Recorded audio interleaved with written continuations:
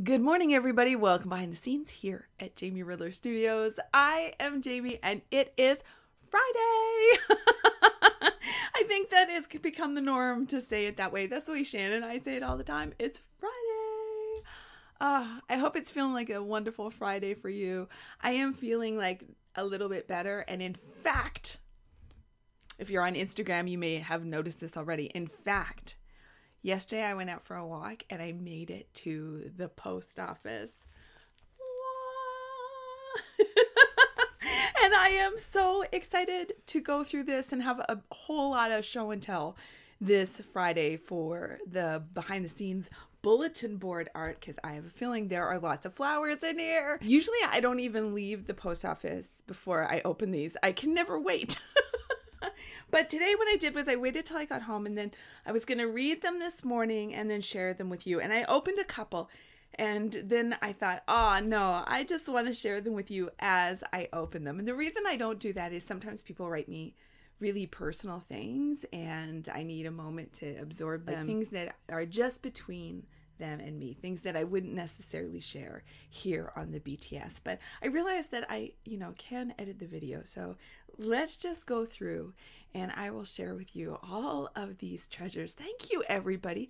I got to tell you, this completely brightened my day. And speaking of brightening my day, look at this card this card that I got from Dara. Hey, Dara, you might have seen this on Instagram too and said, That's mine, that's mine. and you know what Dara said? She said that this cat looks like Escher, and I think she is so right. So, um, this is for him too. It's going to brighten his day as well. And let's see what Dara had to share with us. Isn't this wonderful? I love the colors and I love the scale. And I love the way that Dara's gone sort of right off the page here. It just has such wonderful, vibrant energy. And see, now Dara has signed her name and also dated it. So think about that when you're saying, for sure, please sign your name. One, for a couple of reasons. One, it'll make it easier as we go across the board to remember who sent what. Uh, but also, I think as a creative, it, it, there's something profoundly significant about saying, I made this. So, uh, part of what I really want to do with the bulletin board art is encourage you to step into who you are as a creative and putting your name on your work is one way to do that. And I think this is something I often forget to do, but dating your work can be awesome too, especially if you're going back and looking at, oh my gosh, look where I started and look where I am now. I had a bit of that yesterday when I filmed Start Creating As We Go with my sister Susie and Shannon. I hope you watched that show too. It is also on YouTube, and I will leave a link below. Uh, and also, if you're a member of the studio, and I hope you are. if you're not, come on over to openthedoor.ca and join. I will be sending out that episode as a part of this Sunday's newsletter. You won't want to miss it. We had a lot of great chat. Okay, so next from Diana. Let's see what Diana sent. Oh, look at this. You have a friend in Arizona. Flowers for Jamie. I love Diana. Look how Diana interpreted a bouquet. And she has sent me a bouquet of flowers that are stars and a sun and hearts and butterfly. Oh, it's so it's so happy. I love it. Thank you, Diana. Okay. From Scarlett, who is in Ontario like me. Oh, look at this. Okay. This is the other reason I don't like to do it. I have to wear my reading glasses. so just tell me I rock the reading glasses, okay? Uh, purple petunias on my mother's wicker flower stand. Purple's my favorite. Oh, that just that touches my heart too because uh, well, because it's her mom and flowers make me think of my mom and beautiful. Thank you so much, Scarlett. I'm going to really enjoy putting that on the board. And it may be our very first cooler color flower. So thank you for that too, Scarlett from Ontario. Here's something from Alexis in Hartford, Connecticut. Hey, Alexis. It's so nice to hear from you. Thank you for sending. Oh, she sent a flower and a poem. So let's read Alexis's poem and then I'll show you her flower. Augustina sitting in a cafe on a rainy day in spring. Her rosy lips smudge and olay, gazing out the window at the lilacs. Bent over a notebook writing, everything is green and illuminated by the light magical limes and chartreuses, mints and pears, seafoam and parakeet, fern and sage. It smells like sunburnt rubber after a cooling storm downpour. She sips and sips, writes and writes. Hmm. I know that smell. I know that place. I know that feeling. Thank you, Alexis. I'm sure many of you do too, and Alexis included a beautiful flower. And what a wonderful poem. Thank you so much. So, this is from Patricia. Isn't it beautiful? And look, it's it's wonderful. It's collage. It's very three-dimensional. Each of the petals is unique. There's a lovely button on the center and here what for I thought originally this looked like stitching, but it's it's pen mark and I just love the impact of that. Beautiful layers, uh, beautiful flower. Thank you so much, Patricia. I love it. And another cool flower. Cool. It's cool. Oh my goodness. And Patricia's been watching for a couple of years, but only recently joined the studio. And she's just loving all the features, but her favorite is still the BTS. And start creating as we go. Yay! well, that makes sense. You know, if you are finding me through YouTube, it probably means you're a video person. And so that your first love is the videos makes total sense. I find that too with people who find me through the podcast. It will remain one of their favorites. People who find me through the blog, that'll remain one of their favorites too. I'm so glad you're here. And I'm so glad you that you did join the studio. That's thrilling for me. And oh my goodness, oh Chris, let me thank you for this. And actually, I need to thank, To just protect Alexis's address. Thank Alexis too. And look what Chris did. If you remember the studio, you probably got the newsletter that I sent around where I talked about how I felt watching the Wonder Woman movie and um, what it meant to me as somebody who had been pursuing. I, I pursued my doctorate in theater, and my topic was the female hero in contemporary theater and film. And so to see a film where truly, not pretend, not she looks like a hero, not she's just like the guys, but truly she is a woman bringing a different perspective as a hero. She rocked it, and I, I it meant the world to me. So, oh, look at this! You guys are getting so creative. So Chris made a collage too. Hi Jamie, this is my 10 minute demo flower. I'm showing someone how to collage off centered.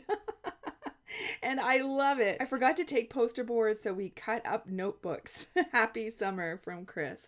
I just love that. And Chris, I love not only how creative your flower is, but how creative your support is. And everybody really, one of the things to take away from this is what's the studio principle? Use what you have. Like start where you are with what you have. Kristen let the fact that she didn't have poster board stop her. She just used uh, a, uh, the back of a notebook.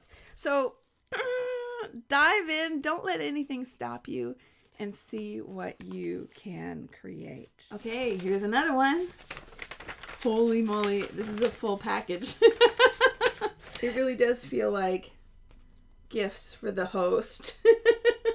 Holy cow! This is look at this. Oh my gosh. Somebody has sent me all kinds of recipes. How to make a poinsettia ring. And let's see. Let's see this. You know what it's gonna.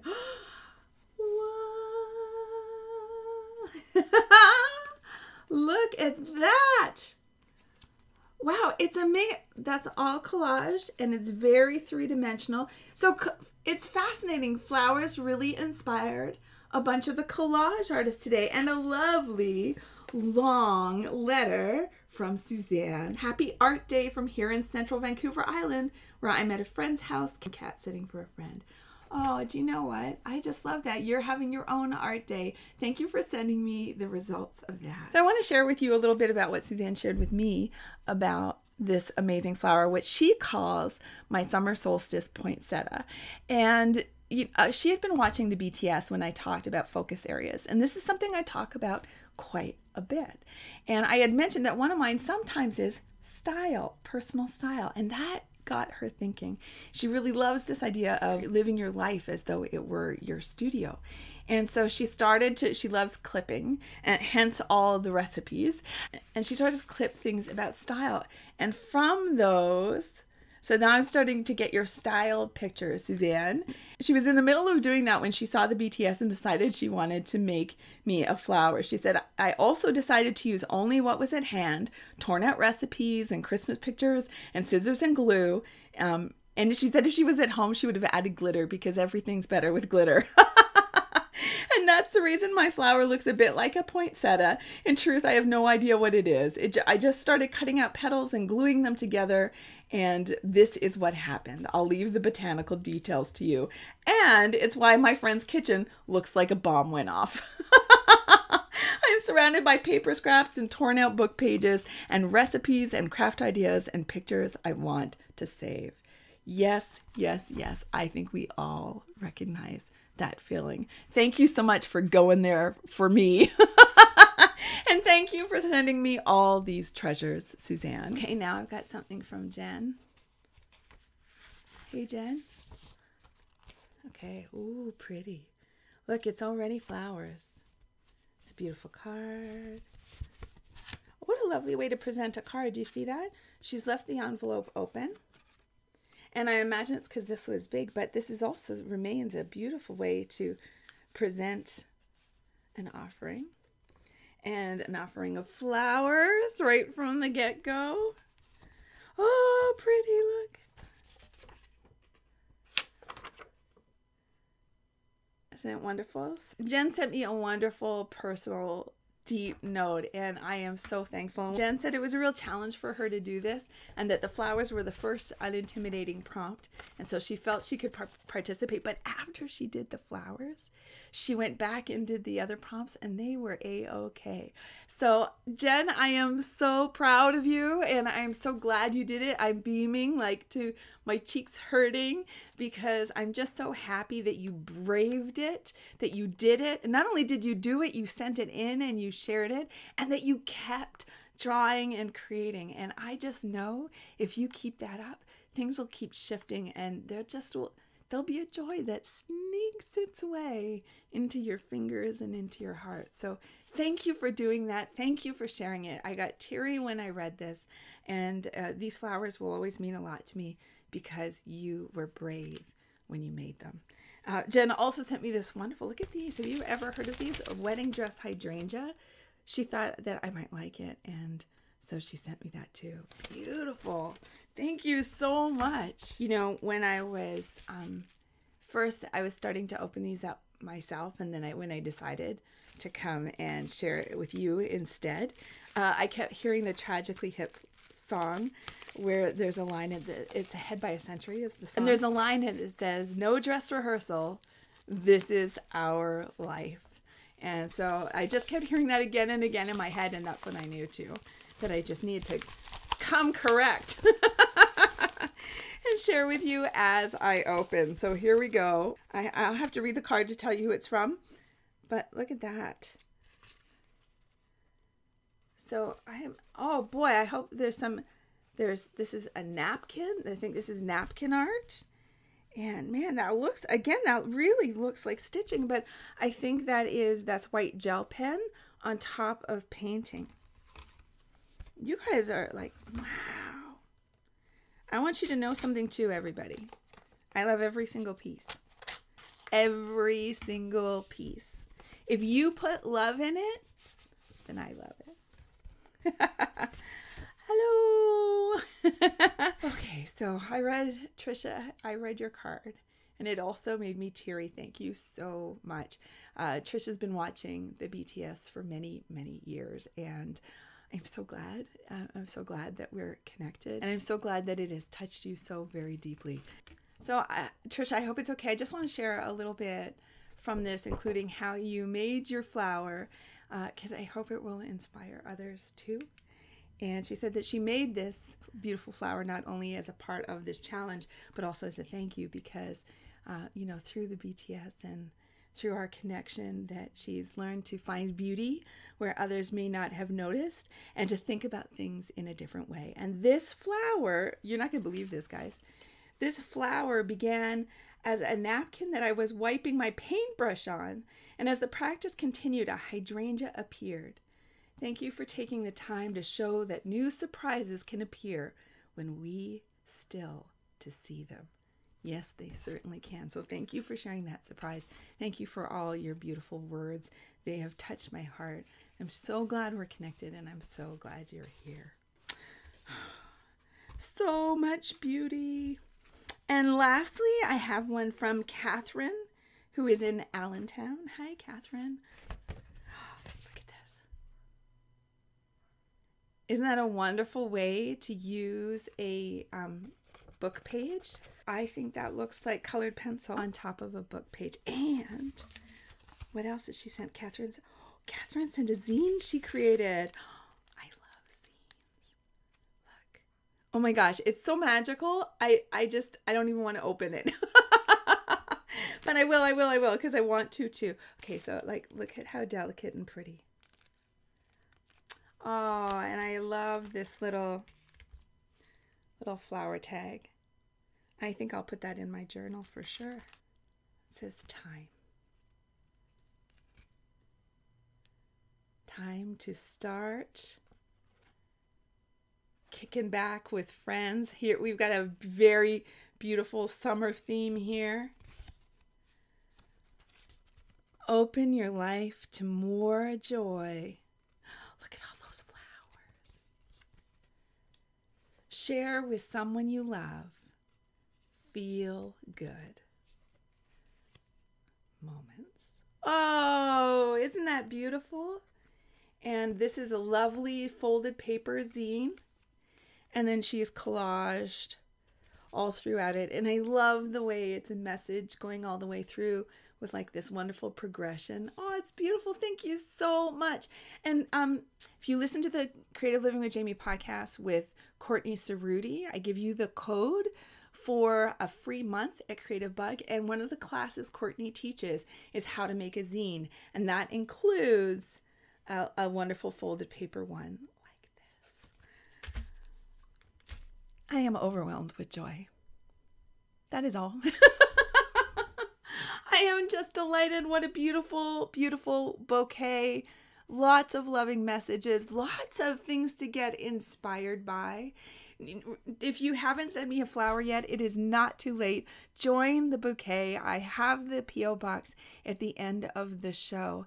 And if I get it before the end of July, and that's still plenty of time, then I can, then I'll show it. And it can be as simple or as elaborate as you like.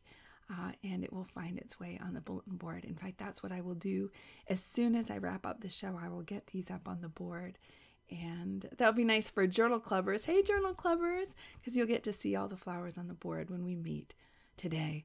What an amazing, amazing gift. I'm just beaming. And what an amazing way to end the week. Uh, this week's seven soul symbols also draws to its completion. We'll be celebrating all the symbols we've been exploring and learning together and seeing how we could pull them together in one creative exploration. Uh, Journal Club, we still have the rest of July together. And then next week, we're starting the Art of the Altar. It's not too late to sign up for that and join me. And we're going to really look at how can we build a personal altar that is meaningful and useful to us? Where can we create a space, even a temporary space, that we can create a focal point for our energy, our creativity, our spirit, and how can we structure it so that it is a place of love and uh, power and centering. You know, the full buck moon is coming on Sunday, and the full buck moon is no surprise, is all about power. And power, I know, can be a triggery word for a lot of people, but you know, there's something really significant about owning your own power and using your own power. All of these women who channeled their creative energy into a flower and then sent it here, you know what they were using? Their power. They were channeling their creative possibilities and all of their ideas and turning it into an actual thing and sending it out into the world. That is using your creative power. And that just makes me realize how much that is a part of practice projects and performance when we talk which we talk about in the studio you know that there is a way that practice helps us gather our power and then projects allows us to focus our power and then performance allows us to share our power. Power can be an incredibly beautiful thing and i invite you to explore it under the full buck moon this weekend and also just generally in your life. See how it can light up your life and, and the lives of those around you. You have certainly lit up my life today, particularly those of you who have sent me flowers. I look forward to getting more bulletin board art from you, and I hope you have a marvelous weekend in your studio. And uh, remember, your life is your studio. I'll see you on Monday.